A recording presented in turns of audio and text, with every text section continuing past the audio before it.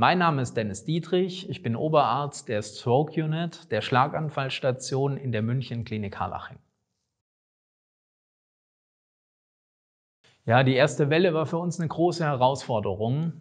Der Vorteil war, dass wir Vorbereitungszeit hatten, die auch erfolgreich genutzt haben und dann letztlich mit viel Anstrengung gut durch die Welle gekommen sind.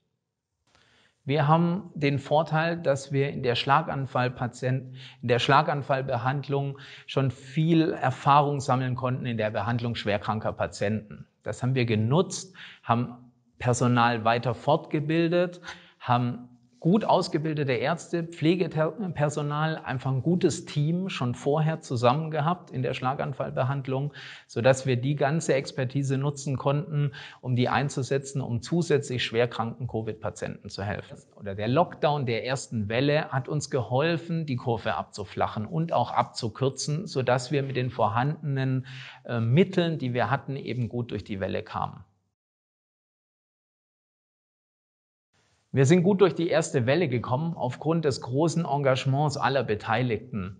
Natürlich haben wir nun gewisses, gewisse Anzahl an Personal, sodass wir einer ausgedehnten oder ausgeprägten Doppelbelastung ausgesetzt waren. Deshalb ist es so wichtig, dass in Zukunft die Welle möglichst flach und möglichst kurz abläuft, weil man das nicht für immer so durchhalten kann.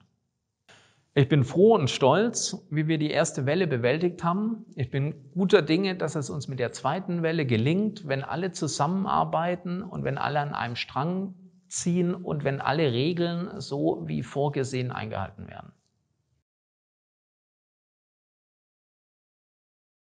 Man muss keine Angst haben, weiterhin ins Krankenhaus zu gehen, weil alle Maßnahmen unternommen werden, dass man sich nicht ansteckt im Krankenhaus, aber dass weiterhin lebensgefährliche Erkrankungen wie Schlaganfall oder auch Herzinfarkt zeitnah und optimal behandelt werden können.